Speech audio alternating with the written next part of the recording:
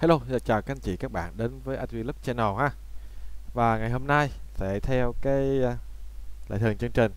Dạo này thì cũng hơi khó kiếm hàng quá Cho nên uh, lục là mấy con cũ thôi, mấy con cũ của mình thôi để uh, giải đáp cho các anh chị thì mình thấy là số lượng ngày hôm nay á có đến uh, 6 7 anh chị đều đang thức thắc mắc và đang lo lắng con DSB. Mọi người sợ là dòng uh, bất động sản sẽ chỉnh gì đó. Thì con này mà uh, nhiều người rất ngày nay hỏi mình là có giữ được hay không?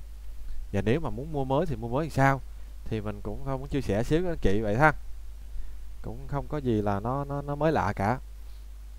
Con này á, nếu mà xét về ở cái khung mà khung ờ, đồ thị mà trung hạn á, là khung tháng á, nha là nó đã vượt qua được tất cả cái đỉnh lịch sử nó rồi. Và mô hình của nó là rất chuẩn chỉnh theo mô hình là cấp tay cầm nha.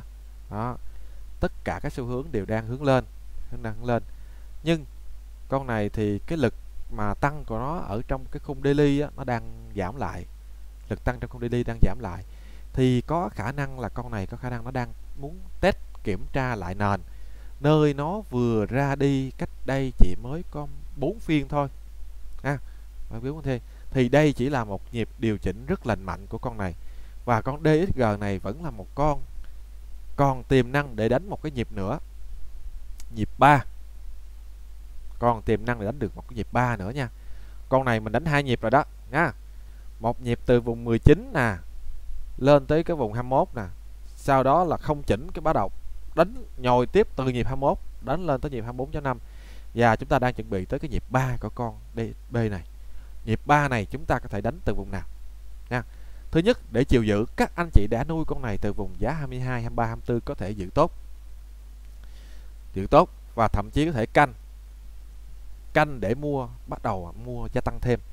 Nếu mà nó có về vùng này chúng ta sẽ bắt đầu chúng ta rải cái vị thế chúng ta ra bởi vì chúng ta đã có được những vùng giá bên dưới rất hợp lý rồi 21 22 đồng giá rất hợp lý rồi.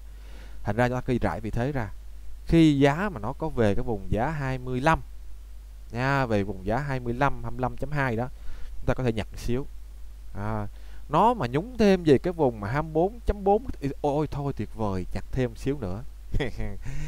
rất hân hạnh được phục vụ các bạn, rất hân hạnh được phục vụ các bạn. Các bạn dám về đây thì mình sẽ phục vụ các bạn. Về vùng 24.2 24.4 nhặt thêm một lần nữa. Đó là hai khu vực chúng ta có thể canh để nhặt hàng con này. Dành cho các anh chị nào đánh mới hoặc là các anh chị nào muốn gia tăng, đúng không? Mục tiêu. Giờ mình nói mục tiêu ngắn hay dài? Thôi nói luôn mục tiêu cuối cùng luôn đi.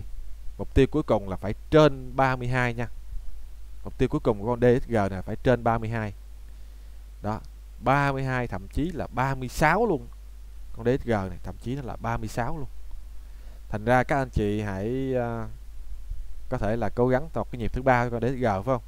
Mình cũng sẽ canh. Nếu mà canh được con này về lên quanh vùng giá dưới 25 mình cũng sẽ bắt.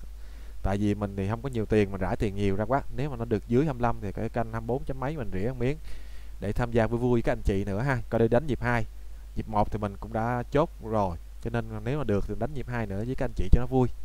Thế thôi đôi lời chia sẻ. Các anh chị thấy uh, hay hay là các anh chị thấy nó có ích lợi thì hãy like share clip này. Còn uh, các anh chị nào mà muốn ủng hộ muốn uh, follow cái kênh á, thì bấm nút subscribe bên dưới nha. Ủng hộ follow kênh của anh em ITB ha. Để giúp cho kênh ngày càng phát triển hơn. Hay là các anh chị vào mãi lần sau. Điện thoại Zalo luôn luôn để để phục vụ các anh chị. Các anh chị có yêu cầu hỏi về mã hay là tư vấn mã. À, ví dụ lâu lâu ngày hỏi lần đó thì có việc nhắn tin mình mình sẽ coi đồ thị mình sẽ trả lời cho anh chị trong cái tầm hiểu biết của mình thôi. Còn cái nào mà ngoài tầm hiểu biết của mình nữa thì mình xin xin lỗi mình nói là cái này nó ngoài tầm hiểu biết của mình rồi thì mình đã không không không đủ khả năng để nhận xét nữa. À, chúng ta thành thật với nhau thôi. Đó. ok chào các anh chị nha. Hẹn là các anh chị vào uh, lần tới vậy nha. Peace.